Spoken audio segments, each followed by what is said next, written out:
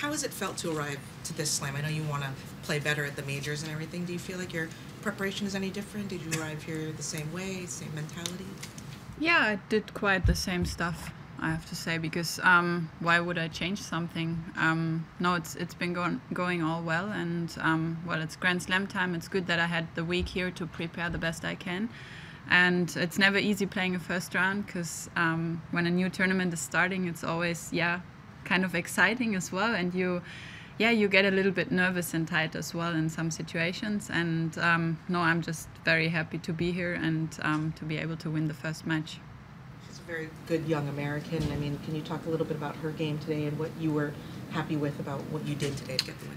Uh, I served pretty big, I must say. Um, I had a lot of good service games there. Um, I tried to, yeah, put a lot of pressure on the return games on her, and um, yeah, she's a good counterpuncher. She takes the pace very well and creates new opportunities for her. And um, I really had to, to take the ball away from her a little bit to get her moving a little bit away from the court, not just sitting there and having everything in her range. And um, I think I managed that um, pretty well, especially on my serve when I um, used my kick serve or my slice serve to really get her out of the court to, to have an opening for the second ball.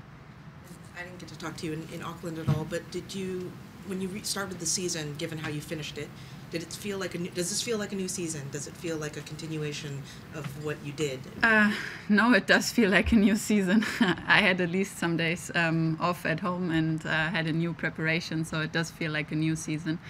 Um, yeah, I was quite surprised that I could start the season the same way as I've ended it, the last one. And um, no, it's it's completely a different situation. I'm just very happy that I could start the season the way I'm doing it now.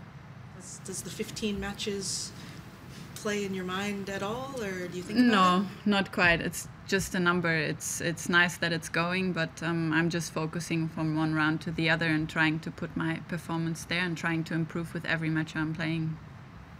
Just next match against Cornet. Uh, thoughts on that one? Um, well, she's a she's a tough opponent. I think as everyone here in the draw, they're only the best ones, and um, well, I've played her a lot of times, and um, we actually practice a lot of times. And um, no, it's going to be a tough one. Um, the main thing is for me to focus on my game and um, yeah, try to to create some good opportunities to really be aggressive as well.